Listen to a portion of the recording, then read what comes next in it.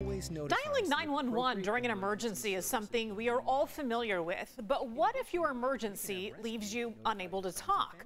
A new emergency alert app called Rescu is designed to connect people directly to certified emergency dispatchers, and it launches right here in San Diego today. Paulo Piscatelli is a San Diegan, the CEO of Rescu, and he's joining us right now to talk about this app. First of all, Paulo, I'm glad you're here, and thank you so much for joining us.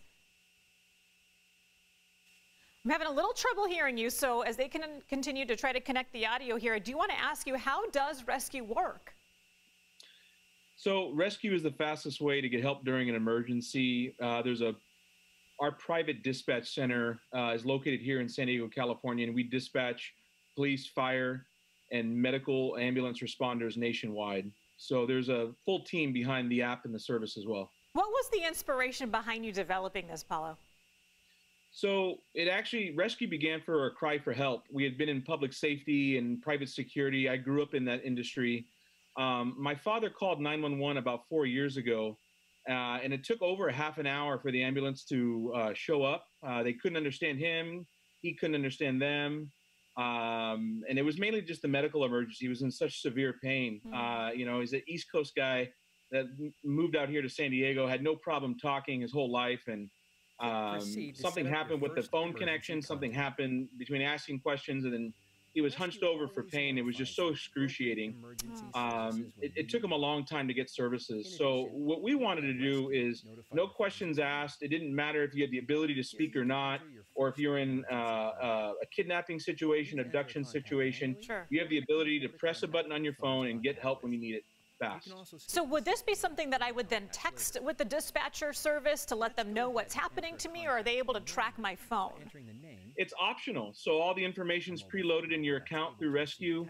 Uh, we also know your location. You can send it to your, your mom's house, your dad's house, your business, your school, uh, or you can send it to your current location. Uh, and you have the option of communicating with the dispatcher if you're able to. If you're not able to communicate with the dispatcher, that's okay all your information is preloaded uh, into the app in the service, and then the emergency responders know exactly what's going on. Our professional dispatchers carry that information and a handoff for you. So it certainly comes in handy with somebody who's not able to use their voice to communicate with the dispatcher. But if you are able to use your voice, is it faster just to then call 911? Is there any lag time in using Rescu is my question.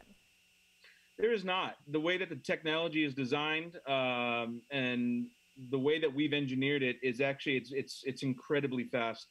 Uh, it's fast international and also it's very fast uh, locally um, stateside.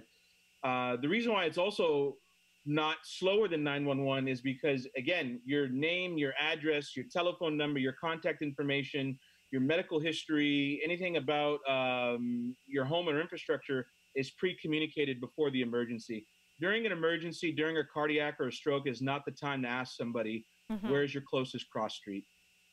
We're flat out of time here, but really quickly, what's the cost of using this app? It's $5 a month uh, to end users. It's live on the App Store and Google Play Store. Paolo Piscatelli, the creator and CEO of Rescu App. We do appreciate your time. Keep up the good work. Thank you, Heather. Thank Have a great you. day.